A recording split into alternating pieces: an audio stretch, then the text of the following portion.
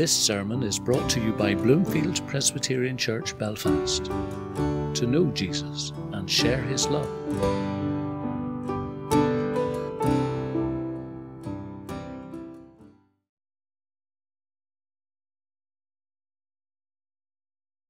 So if you want to open your Bibles, I think there's Pew Bibles now, or one you've brought with you, or on your um, device. We're going to look at Philippians, and Philippians chapter 1, starting at verse um, 18. I'm not sure what page it is in the Pew Bibles, but it's Philippians chapter 1, um, starting at page 18. This is, um, this is God's word to us this evening. But what does it matter? The important thing is that in every way, whether from false motives or true, Christ is preached. And because of this, I rejoice. Yes, and I will continue to rejoice, for I know that through your prayers and God's provision of the Spirit of Jesus Christ, what has happened to me will turn out for my deliverance. I eagerly expect and hope that I will in no way be ashamed, but will have sufficient courage so that now, as always, Christ will be exalted in my body, whether by life or by death. For to me, to live is Christ, and to die is gain. If I am to go on living in the body, this will mean fruitful labour, labour for me. Yet what shall I choose? I do not know. I'm torn between the two. I desire to depart and be with Christ, which is better by far but it is more necessary for you that I remain in the body. Convinced of this, I know that I will remain, and I will continue with all of you for your progress and joy in the faith, so that my being with you again, your boasting in Christ Jesus, will abound on account of me. Amen.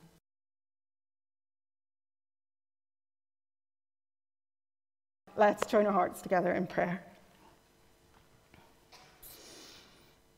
Heavenly Father, thank you that you are not remote or distant, but that we can bring our prayers and requests to you. And not only that, but you long to hear from us. Um, Father, the weather reminds us that the summer is over, and we want to thank you for farmers and others who grow crops and tend to animals to ensure that we have food on our tables. And in the midst of news stories about empty shelves and other difficulties, we pray for wisdom for those who need to make decisions about how the food we get, eat gets from farm to our fridges and shelves, and for safety for those who work to make that happen. We pray for those who worry about how they will put food on their table and give thanks for organisations like Storehouse, although it is our hope and prayer that such organisations would not need to exist. We want to bring before you the government's proposal to remove the uplift to universal credit recognising that this has become a vital lifeline for many people. And Father, we plead for a compassionate response from legislators and policymakers. Closer to home, we pray for those in our congregation who have been recently bereaved, and we ask that you bring them comfort and peace at this difficult time. We pray too for those waiting for hospital treatment or waiting on results of tests, and we ask that you would calm their fears and that they would receive appropriate assistance at the right time. We also bring before you our students who have gone or who will go shortly to university away from home. Father, we pray for your protection over them, that you would guard their hearts and their minds and their souls. We ask that you would bring good people into their lives as friends and mentors, and for good lines of communication within families separated by distance. And finally, we give you thanks for our brother Graham, and we pray that you would anoint him with your goodness and grace as he speaks to us, and that our ears would be open to what you would have us hear. In Jesus' name, amen.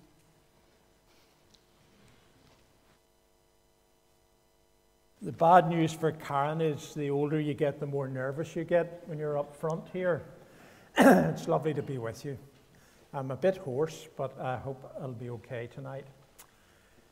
Uh, First of all, thanks to the praise team for as ever leading us in worship that draws us close to God. And uh, I also want to thank our minister, Frank, for inviting me to uh, share in this service. I, I, I, really appreciated that invitation, and uh, It's lovely to be with you. And there's no greater privilege in, in my life than in all our lives, in fact, than opening up God's Word to someone.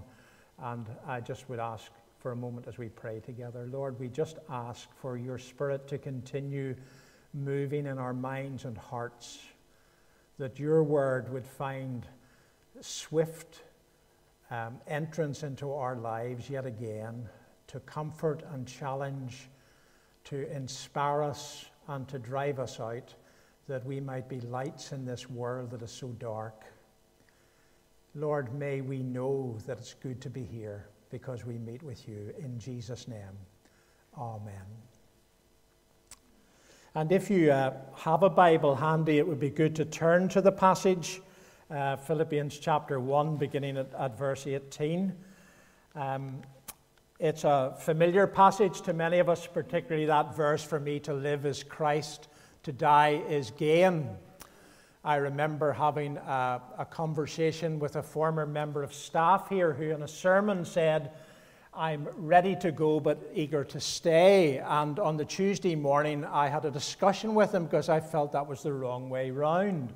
And I do think that I'm, I'm on Paul's side here, that I'm eager to go but ready to stay. And we'll see why he was ready to stay and why we should be ready to stay as we look at this passage. In these verses and in this letter, Paul is concerned about his life and, interesting enough, concerned about his body. He refers to his body a number of times. And it's easy to see why when we realize that he's probably chained in prison. He's probably been beaten up fairly regularly, and he's not in great physical shape. One of the atheists in our day who has gone to face the Lord, Christopher Hitchens, died not so long ago, and in his final book, he wrote some of the most chilling words I have ever heard. He says this I do not have a body, I am a body. And when you think about that, Christopher Hitchens is saying that the moment he died, the moment his body really began to disintegrate, Christopher Hitchens no longer existed. Well, although Paul's thinking about his body, he sees it in a very different way, inspired by the Holy Spirit, having met the risen Lord Jesus on the road to Damascus. He is telling us that Hitchens is wrong. And graciously and quietly, we will meet people who believe what Hitchens believed. And we need to tell them they're wrong. Paul is looking at something that is much greater than this physical body that we have, which is important, of course, because one day it will be remade into a glorious body, each of us uniquely given a new body linked to our old that will never get sick, never age, in the sense that we understand, never be tired, never die again. And in these verses we're looking at, as in the letter to Philippians, we're thinking about rejoicing, about joy, and particularly in these verses, rejoicing in life and death. And I want to point out just three things where we find joy in these verses. There are lots of other things, of course, even in this letter, let alone the Bible, where Christians can find true, solid joys, the things we were singing about in that last hymn. And I want to suggest to you that in these verses we can find joy in hope, in freedom, and in service. You'll see there, first of all, joy or rejoicing in hope in verses 19 and 20. I know that through your prayers and the help of the Spirit of Jesus Christ, this will turn out for my deliverance, as it is my eager expectation and hope that I will not be at all ashamed, but that with full courage, now as always, Christ will be honored in my body, whether by life or by death. What's your hope? Of course, we use hope in a very different way to the way the Bible describes hope. We hope for things that might happen. I had hoped for a better result unless the second half was better than the first in the North London Derby today, and I'm guessing it wasn't. I had hoped that I would go swimming and maybe even see Matt tomorrow morning, but they don't open the pool at the time that I want to swim anymore. So I miss my swimming and I miss my conversations with Matt. I hope for these things, but some of them happen and some of them don't. The Bible doesn't use that word hope, the word hope in that way at all. In, in, in Scripture, when we read hope, it speaks of confidence, of utter confidence. It's almost the opposite to the way we use it today. It might happen. No, I'm confident. I'm confident it's going to happen. It's a mentality that comes from believing that all things, as Karen was reminding us earlier, all things work together for good to those who love the Lord. And what Paul is confident for is really quite amazing as you look there. He's confident that what has happened to him will work out for his deliverance. He's in prison in Rome, he's writing to the church in Philippi. And what happened when Paul was in prison in Philippi? You remember? The walls fell down, there was an earthquake, he escaped. But he's talking about a different kind of deliverance here. This will turn out for my deliverance, turn out for my literally salvation. Now, that word, of course, is rich and means lots of things to us, don't we? Uh, usually we think about salvation in something that has happened to us in the past. And particularly in Northern Ireland and Belfast, many people would have said, Oh, well, I was saved at such and such a time in my life, or in such and such a season in my life. But of course, the Bible uses the word salvation in lots of different ways, doesn't it? Salvation does mean, of course, saved from the penalty, from the power, from the presence, and from the pleasure of sin. And Paul says, The Lord will rescue me from every evil attack and will bring me safely to his heavenly kingdom. To him be glory forever and ever. Amen. And so he calls us in chapter 2, verse 12, as we were looking previous Sunday, to work out our salvation with fear and trembling, for God is at work in us. And back in verse 6 of chapter 1, he says, I'm sure of this, the idea of confident hope. I'm sure of this, that he who began a good work in you will bring it to completion at the day of Christ Jesus. If you're a follower of Jesus tonight, there's great news.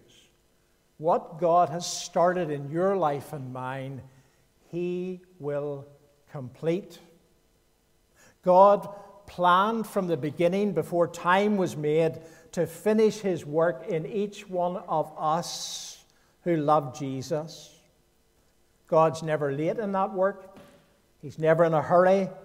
He doesn't always do it to our timetable, but He will finish what He starts. Psalm 139 says, All the days ordained for me were written in your book before one of them came to be. He knows your time, He knows my time. Isn't that wonderful? I don't know my time, you don't know yours, but He doesn't make mistakes. And Paul has this joyful hope that what God starts, He will complete. He has it because of the Holy Spirit living in his life. Because of your prayers, he says, that were given for me, the help given by the Spirit. I know through your prayers and the help of the Spirit of Jesus Christ. Certain hope.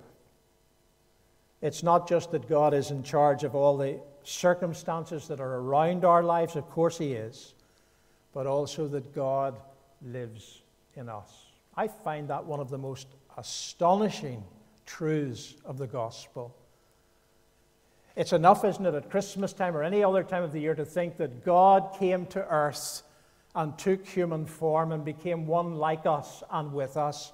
But he does it in every believer as the Holy Spirit lives in you and lives in me. And you show glimpses of that Spirit to me and to others. And I hope in my life I show glimpses of that to you. But of course, this hope is centered also in prayer in the Christian life, isn't it? This Spirit, he says, is supplied in answer to prayer. In chapter 1, verse 3, he says, I thank my God in all my remembrance of you, always in every prayer of mine for you, all making my prayer with joy. And he knows the Philippians are praying for him. And they were praying a very simple prayer. Basically, weren't they saying, Father, send your Spirit to help our friend Paul. Ephesians 6 and 19 and Ephesians and Philippians are like sister letters. He writes, Pray also for me that whenever I open my mouth, words may be given me, so that I'll fearlessly make known the mystery of the gospel. I wonder, is that part of your prayer life and mine? Do we pray for, for Frank and the, the team here, for our elders, for the leaders of organizations, for the praise teams? for our friends in the congregation, for folk we don't yet know, that we will be able to fearlessly make known the mystery of the gospel. And we pray that for others, that the Holy Spirit will take us and shape us and help us to do that. Wouldn't that be a wonderful prayer to start praying if we haven't done it yet? And that's what they're praying. Pray for Frank. Pray for the staff team. Pray for our elders that the Spirit will grip them and that they will be able to be fearless. And as they are that kind of men and women, we will follow and be fearless too. And he goes on and he says he eagerly expects. I, I have a picture in my mind of somebody who is trying to reach out for something that's very high up, maybe on a, um, uh, a wardrobe or something above there, something that they're not quite sure, and they're on tiptoe and they're reaching out, and it's almost in grasp. And as you do that, you're focusing and you're concentrating on what you're about to receive and take. Look what he says I pray, my hope is that Christ will be honored in my body, whether by life or death. He says, Pray for me. There's guards around me. I want you to pray that as the guards look at me in all my weakness, that they will see the Lord Jesus Christ and they will honor him with their lives given to him. Pray for me that I'll not be ashamed. Imagine this is, this is the apostle who, who was left for dead on a number of occasions, who was stoned, who was thrown out. He says, Pray for me that I won't be ashamed, but speak with boldness. And literally, he says that Christ would be enlarged in my body, Christ would be magnified, Christ would be made great, Christ would be conspicuous. The word I like to use is that Christ will be placarded. Um, I, as many of you know, I grew up uh, near Ligoniel in North Belfast, and there's a, a, a turn in the road there called the Horseshoe Bend. And there used to be a sign up, it's long gone, Belfast four miles. I thought that was bizarre because Belfast was just down the road, but of course it was the centre of the town, and you could see the whole city from up there. You could even see the Wild East, which we never, I know you never crossed the river north, and we never crossed the river east. Foreign country, that's why I came as a missionary here. Um, but there was a sign telling you Belfast. You, you couldn't miss it. And Paul's saying our lives are to be like that. He uses the illustration of an open book that people can read. One person translates it this way, and I think this is wonderful. My body, I want my body to be the theater in which Christ is displayed. For me to live as Christ, to die as gain. I used to go to the gym uh, I admired John at the gym. You know, I could never be anywhere near as fit as him. Uh, but you meet people at the gym, don't you? And all they're interested in is displaying their body. It's all about them. It's all about glorifying them. Now, it's a noble thing to be fit. Wish I was. But in a sense, they can be posing. Paul's not saying that. He's concerned that his life, his body that he speaks of, will glorify the Lord Jesus. That his hands will glorify him, that his lips will glorify him, that every part of his body will be used to glorify Jesus. This is his joyful hope. Is it ours? Well, we're not, we're not Pentecostal, so we keep quiet, don't we? Thank you, sister. Joyful hope. Secondly, joyful freedom, verses 21 to 24. For me to live is Christ, and to die is gain. What is this glorious freedom that people who are believers have? Well, listen to these words in Hebrews 2 and 14 and 15. Since the children have flesh and blood, he too shared in their humanity, so that by his death he might destroy him who holds the power of death. That is the devil. And free those who all their lives were held in slavery by their fear of death. I wondered have you ever met someone, or maybe you know someone who says something like this to you? Sometimes at night, I wake up and start crying, I'm so frightened of death. I'm so frightened of dying. And you know, the stupidest thing you can say back to them is don't be scared, it's not a problem. Of course, it's a problem. It's one of the biggest, if not the biggest, problems that any human being faces. And as a minister, I have shared in many, many funerals. I've buried a lot of people. And I think back to my time before I came here in North Antrim and North Derry, where it was the practice to have a wake that usually went on for three or four days, sometimes even longer. And for three or four days between the death and the funeral, usually the house of the deceased would be opened and all and sundry would come. I can remember going to wakes where there were over a hundred people in the house and in the farmyard around the house.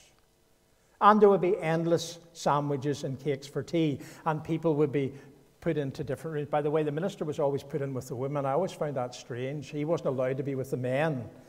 Maybe he would have sort of maybe calmed their language down a bit. I don't know.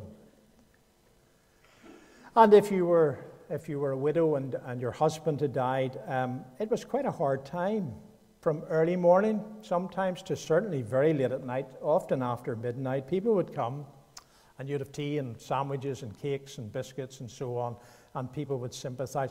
There was a lovely part to it because the, the whole community, in a sense, were grieving together. But uh, I always went back the day after the funeral and always a week after the funeral. Uh, a day after, simply to say, I knew that the house would be empty by then, or almost empty, and it would be very different. And invariably, you would hear something like this It's great to back, get back to normal, it's good to get back to real life. And I wanted to shout, This is not real life. Coming in from a hard day's work, turning the TV on to watch Coronation Street or whatever is, is not real life. Real life is living knowing that death is coming. The unreality is when we forget that we are mortal and we are afraid and we're afraid of dying. And Paul recognizes that and he says, But we are free. We are free from this. William Grimshaw, young man, pledged, uh, uh, sorry, as a young man, he pledged to think of his own death every day of his life. That might seem a bit morbid to us. It might be a bit drastic, but certainly we should be thinking about that. One of my favorite writers, you'll be surprised at this, is uh, Dostoevsky. I can hardly say that, but I think his books are amazing. The depth of describing the character of human beings in our brokenness and in our fears. His novels have such great depth, and I think I know why, because he faced a firing squad and he survived. Imagine facing a firing squad and surviving it. He knew what life and death was about. And Paul talks about death as departing to be with Jesus. And there's all kinds of picture words behind that word departing. It's, it's like the ship that lifts the, uh, that takes up anchor, weighing anchor and heading out. It's like the oxen that are being set free from the plow, the prisoner that's set free from prison, all of those things. Even his, his calling as a tent maker has something there. He says it's, it's like when you die, it's like packing up your tent and going home. Now, camp life is good, isn't it? Those of us who have enjoyed it. But it's not normal life for most of us. And he says, life now is like camp life. He says in 2 Corinthians 5 and 1 that if the earthly tent we live in is destroyed, we have a building from God, an eternal house in heaven, not built by human hands. Now, here's an easy thing for me in the mornings when I look in the mirror in my bathroom, it's easy for me to say this body is going to fade. Probably more accurately, is already fading. This body is going to rot. But this is just a tent. God is going to give me a new body, a glorious body. I suppose the nearest guess we have as to what it will be like is the ascended body of the risen Lord Jesus. Wow. We are free from that fear of death. Douglas Coupland says, Isn't it incredible how we spend our youth making money and our old age spending it to try to be young in our bodies? Our bodies will fade, and he says, So what? To die is gain, to live is Christ. I remember watching a movie, I think it's called 50 Days from Peking. It's probably way back in the 1960s. It was made about the Boxer Rebellion in China. And uh, the boxers who rebelled in China had a number of very weird ideas. One of their ideas was that if they trained for 100 days, they were immune to bullets.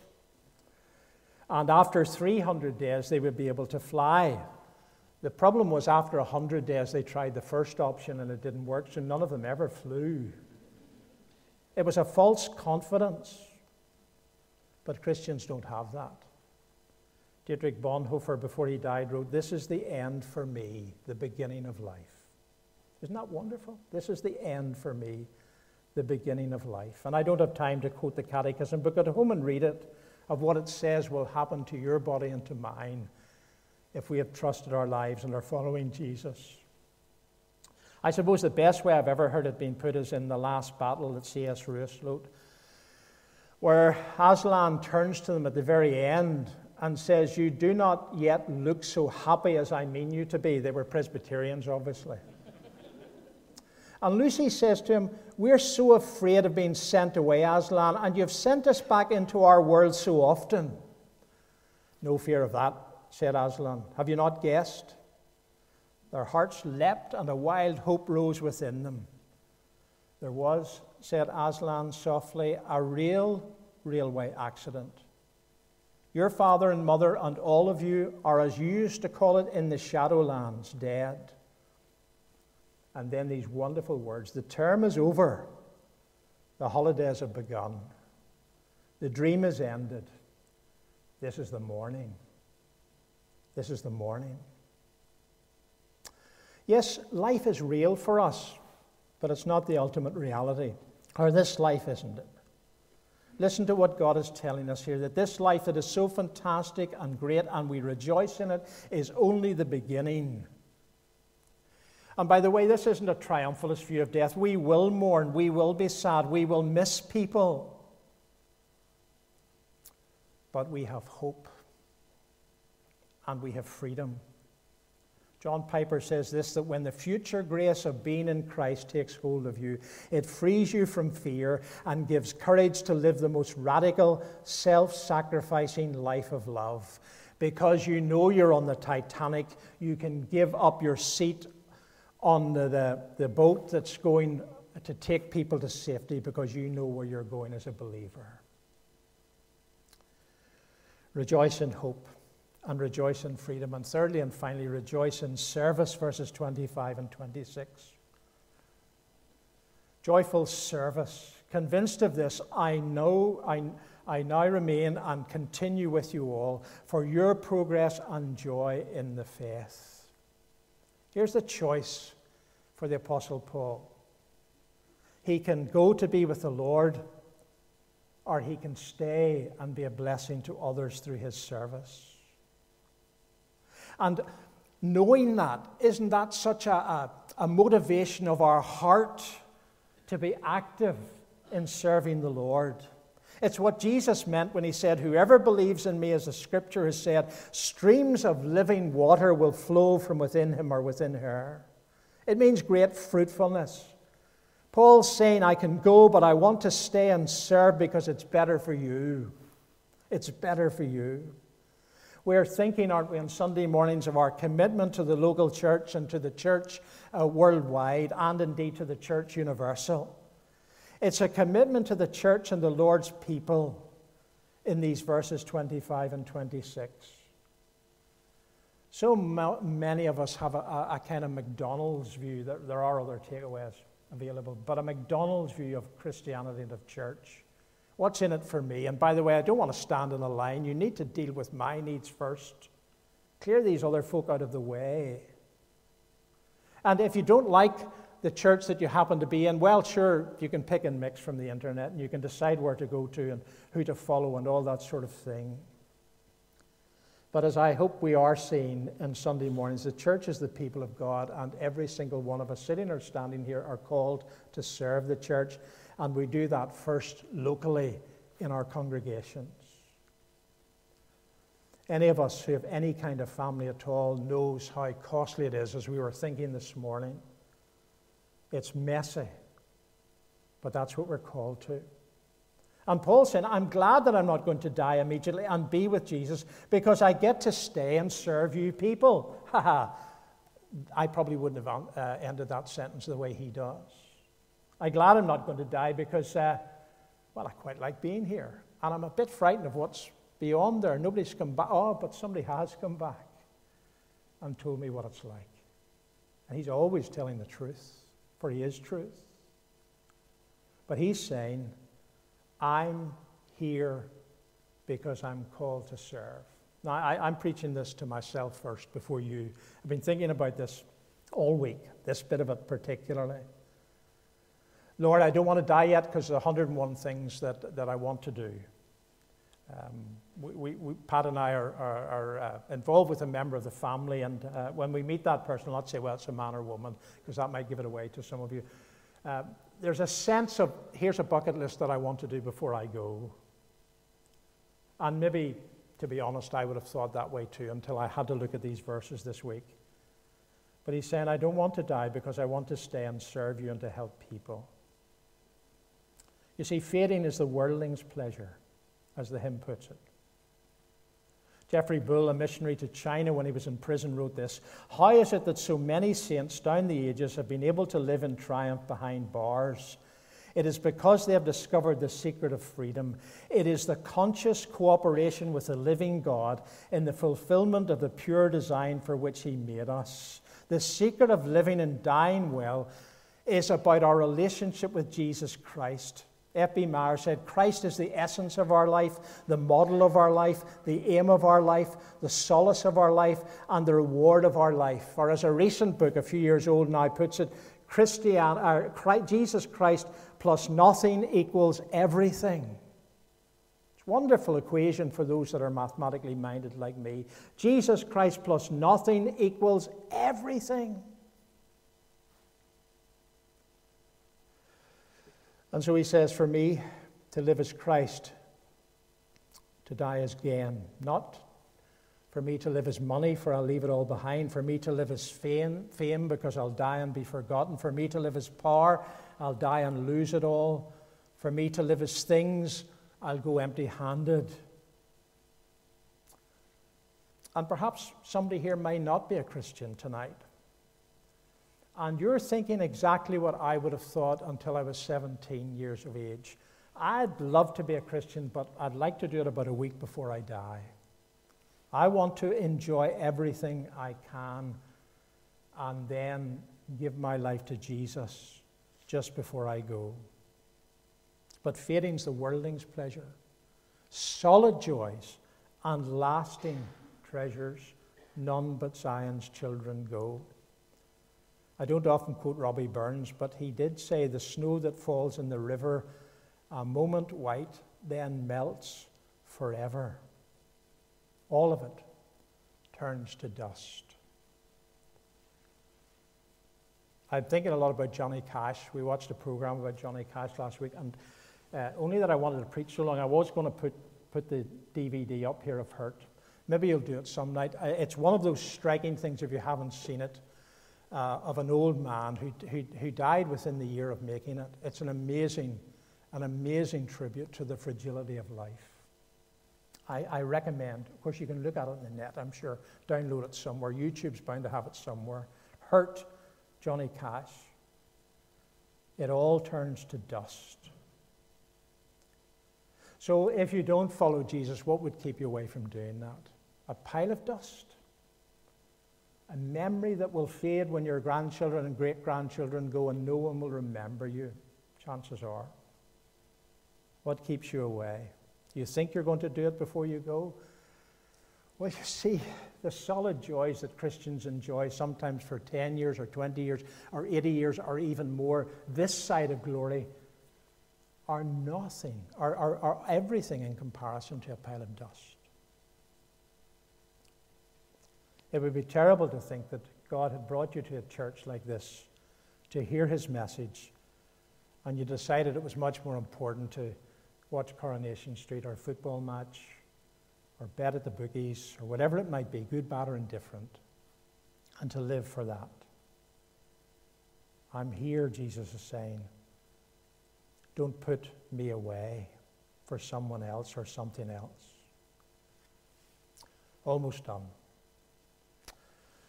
What about the wonderful words of John 11 and 23? And I'm more or less done now. Jesus said to Martha, your brother will rise again. And Martha answered, I know he will rise again at the resurrection of the last day. And Jesus said to her, I am the resurrection and the life.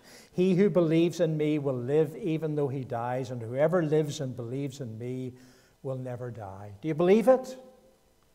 Paul certainly did. Don't talk as a Christian to other people about dying and death as if it was the end. It serves you, it serves me. If you believe in Jesus, you already have eternal life. Wonderful. You can't die. That's what Jesus is saying. You can't die. Your body can go on. You can't die. An extraordinary thing, an amazing thing, a wonderful thing that we will be given new resurrection bodies. And this life is just a preparation for what is to come. And that's why we can be filled with joy for sure and certain hope that we have, for the freedom that we enjoy, that we no longer have that fear of what lies beyond death, even though it may be a painful experience for us, as it is for many, going through that process of dying. And we have this wonderful joy because until then, we're practicing for what is to come. We're called to serve one another and to serve our Lord. I just simply want to say that I trust absolutely what Jesus says when he says he is the resurrection of the life. My mother and I have conversations at least twice a week when she says, Son, I just want to go and be with the Lord. And I said, Listen, Mum, I just wish you could. But He knows. I don't know. And her mother went to sleep one night full of faith and didn't waken up, and that's my mother's prayer. And I suppose that's many of our prayers. Just go to bed, have a cup of tea, as she did, and she didn't waken up. The next morning, she was in glory. What a confidence we can have. As a Christian, you and I, as Christians, you and I have been given salvation, not so that we can be selfish about it, but so that we can share it. And I hope that your confidence, like mine, is that Christ will be exalted in our bodies despite all our sins, and mine are many, and our shortcomings.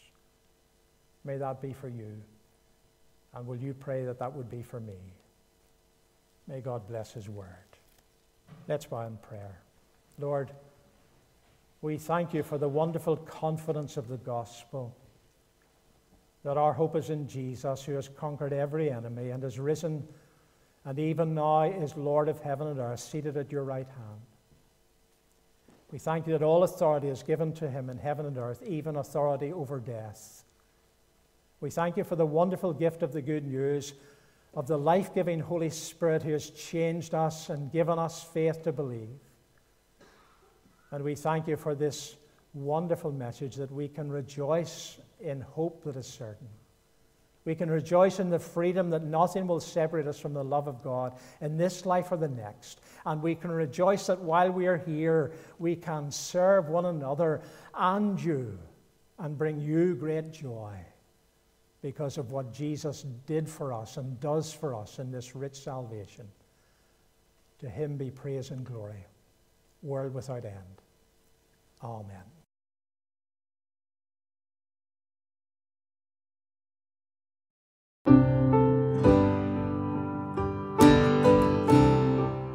Thank you for listening to Bloomfield Presbyterian Church Sermon Audio. We're a congregation in East Belfast with worship services at 11am and 7pm every Sunday. For more information, visit bloomfieldpresbyterian.org.